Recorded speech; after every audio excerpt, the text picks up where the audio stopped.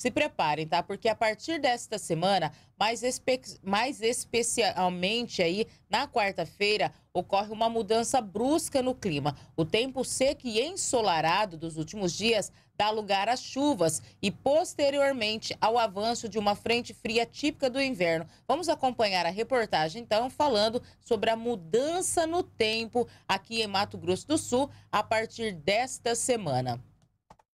Depois de mais de 20 dias de estiagem, as chuvas devem voltar em Mato Grosso do Sul nesta semana, quando ocorre uma mudança no tempo. De acordo com o Centro de Monitoramento do Tempo e do Clima, a probabilidade de chuvas de intensidade fraca a moderada e até mesmo tempestades acompanhadas de raios e rajadas de vento, com destaque para as regiões sul e leste do estado. Além disso, após a passagem de uma frente fria, espera-se queda mais acentuada nas temperaturas a partir de quinta-feira, conforme explica o meteorologista da Uniderp, Natálio Abrão. A partir da terça-feira, uma frente fria no sul do país deve avançar, provocando aumento de nuvens, rajadas de vento, aumento na umidade e variações na temperatura. Ainda pode ocorrer chuvas em pontos isolados, principalmente entre Campo Grande, Dourados, Ponta Porã até o extremo sul do estado. Após a passagem desta frente fria, uma massa de ar polar marítima, com influências principalmente no litoral do Brasil, pode fazer com que as temperaturas caiam naquelas regiões e naqueles estados.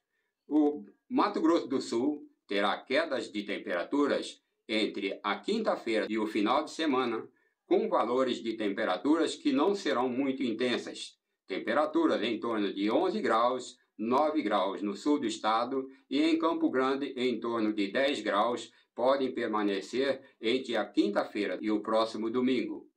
Esta não é uma, uma massa de ar polar com características continentais. Portanto, as quedas de temperaturas não são esperadas com previsões de geadas neste período. A auditora de qualidade, Janaína Bárbara Santana, diz que prefere o calor que o frio. Particularmente não, eu prefiro calor.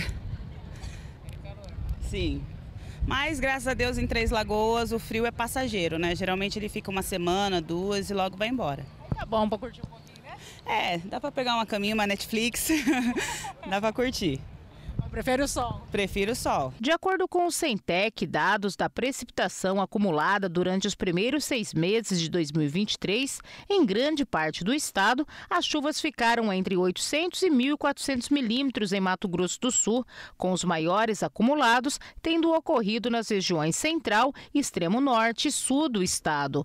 Esses acumulados de chuva se associaram ao avanço de sistemas meteorológicos, como, por exemplo, frentes frias, cavados aliados aliados ao transporte de calor e umidade, atuação de sistema de baixa pressão atmosférica vindos do Paraguai e principalmente os sistemas convectivos, aglomerados de nuvens e chuva, que favoreceram a formação de instabilidades no estado.